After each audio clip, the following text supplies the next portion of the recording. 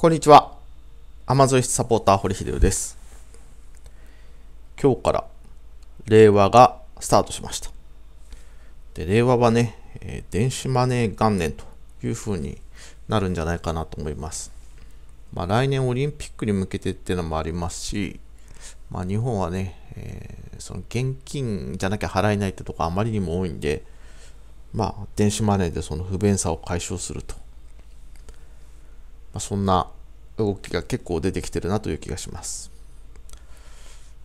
で、まあ、令和の10連休、ね、えーまあ、お仕事の方もいらっしゃるかもしれませんし、旅行に行ってる方もいらっしゃるかもしれない。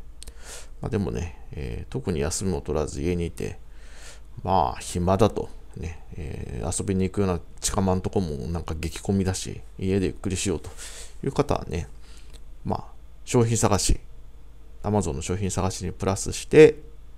メルカリ、ヤフオク、日本アマゾンで不要品を売るのがおすすめです。で、この不要品の販売ってね、えーあんまりやる人いないんですけど、まあ、実際、本当の不要品は売れない場合が多いと。まあ、いらないものを売り出してもね、まあ、あの、あなたがいらないものは他の人もいらないというような場合が多いんで、まあ、不要なものではなく、今すぐ必要なもの以外を売るのがおすすめです。ね。えー買ったけど、あんまり読まなかった本、また読むかもしれないから取っとこうと。ね。でもまた読むかもしれないけど、まあ、読むときにもう一回買えばいいんで、それを売っちゃうとかね。あるいは、えーシーズンもののね、えー例えばウィンタースポーツだったらスノボとかスキーとか、まあ夏だったら何ですかね。まあ、夏、水着は売りやしないか。まあそういう季節もんでね、えーまた次のシーズンになれば使うというようなもんもね、まあ次のシーズンになったらまた買うということで一旦売ってみると。で、その、いるものまでね、いるものっていうか、その、毎日使うもんじゃなくて、まあ、えー3ヶ月に、今後3ヶ月は使わないとか、いうものを売っていくと、あ、シーズンものでこれ結構高く売れるんだねというものがね、えー見つかったりします。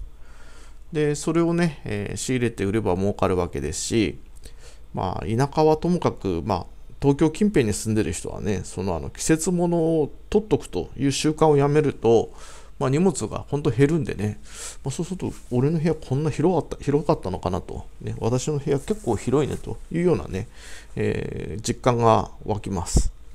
で、まあ、家賃の高い都心部なんかに住んでる人の場合は、その毎シーズンね、えー売って買ってを繰り返したら、まあ、何千か余計にかかると、ね、いうことはありますけど、その代わり9ヶ月間ね、そのものを置いとくスペースをあ取らなくていいと。いう広さのがね、絶対にやっぱお得だと思うんで、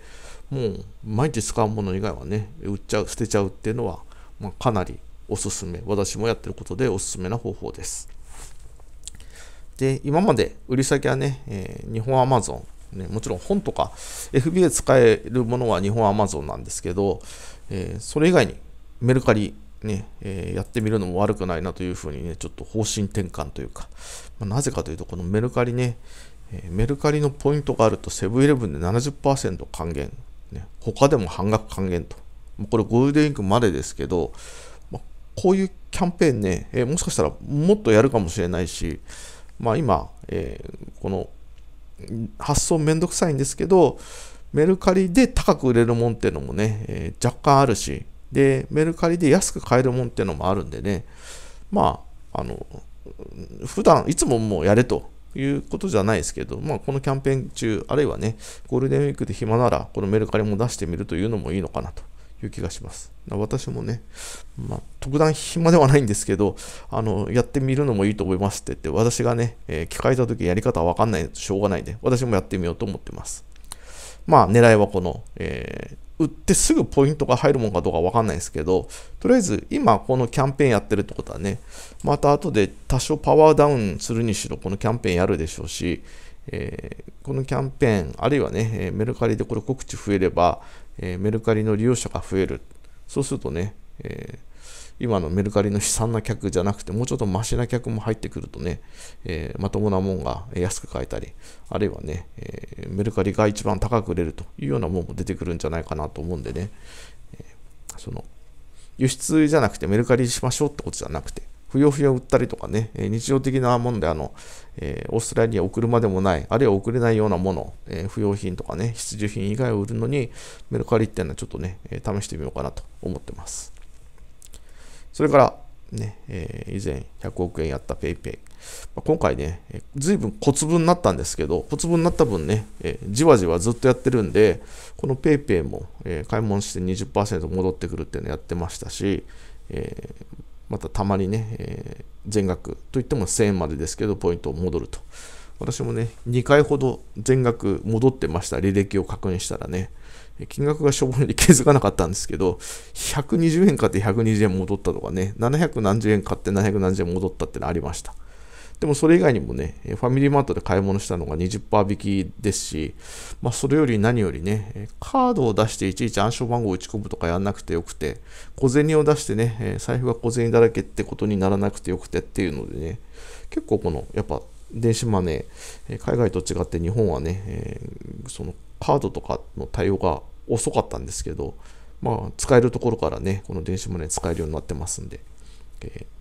ー、非常におすすめです。何も使ってない方は、まあ、えー、PayPay あたりから始めてみてはいかがでしょうか。もちろん、メルカリやって売り上げある人はね、これメルペイ使わないと損なんで、えー、メルペイでね、えー、買い物すると半額になる店結構ありますんで、ね、特にセブンイレブンで70%オフってすごいですよね。えー、メルカリの売り上げある人は今ゴールデンウィーク中に使うのがお得なんでね、えー、使ってみてはいかがでしょうか。時間があれば不用品の販売、ねえー、そして、えー、電子マネー元年なんで、えメルカリやって、えメルペイで払う。売り上げある人はメルペイのポイント払いを使う。何も持ってない人は PayPay あたりから始めるというのをね、お勧めします。それでは、え新言語令和の時代も良くなりますように、ね、で、オーストラリア、アマゾンでますます稼げますように、えー、ご質問、ご報告お待ちしてます。以上、アマゾン輸出サポーター、堀秀夫でした。